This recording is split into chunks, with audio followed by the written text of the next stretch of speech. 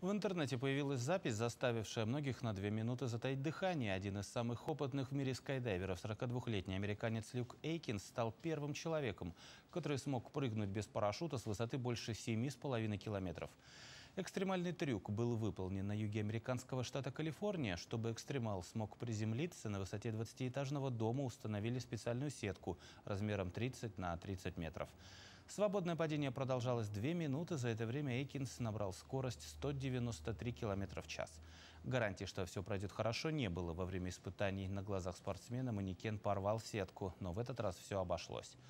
Трюк за гранью возможного стал кульминацией 26-летней карьеры Эйкинса, за время которой он совершил более 18 тысяч прыжков с парашютом.